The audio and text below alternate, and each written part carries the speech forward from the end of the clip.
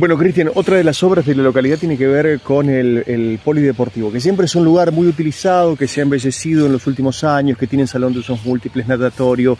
Hay un conjunto de, acciones que merecen una renovación constante, ¿no? Totalmente. En, ese marco eh, teníamos un, incluir atrasadísimo, donde esta gestión se la puso al hombro y nos, eh, nos hizo una transferencia de 7 millones 100 mil pesos, donde lo vamos a destinar a un silo raso, estamos en, tratativa de hacerlo, veredas perimetrales, de veredas de acceso y iluminaria, cambiar la luminaria porque en estos días donde seis y media de la tarde ya se pone oscuro, hay bastantes actividades hasta las 9 de la noche. Bien, y nuevas luminarias LED, imagino. Sí, sí, ya tenemos luminarias LED de 80 watts, vamos a poner de 200 watts.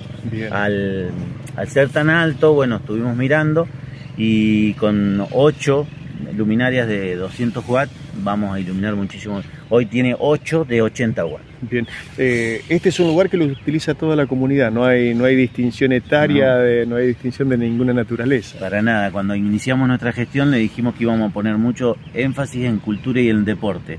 Acá em, se brindan un montón de actividades, básquet, básquet, volei, handball, haciendo un paréntesis en handball, fuimos sede de la Federación Santafesina de Handball. Están viniendo cada 15 días, los sábados y domingos, a hacer torneos eh, donde están seleccionando eh, chicos para la futura selección de, de, handball. Bien.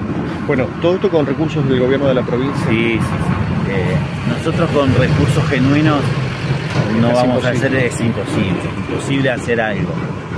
Excepto con comprar un lata de pintura, van a ver que estamos pintando las columnas, renovando cordones, eh, bueno, el escenario, eh, eso sí, obras...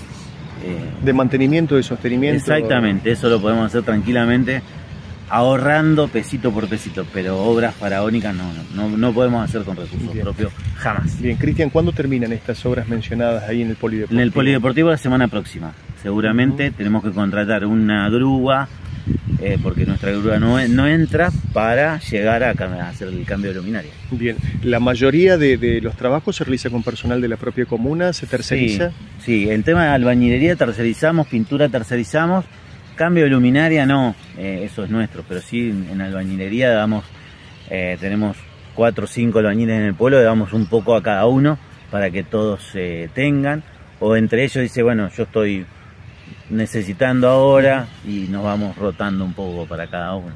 Perfecto. Cristian, muchas gracias. muy amable. Gracias a ustedes.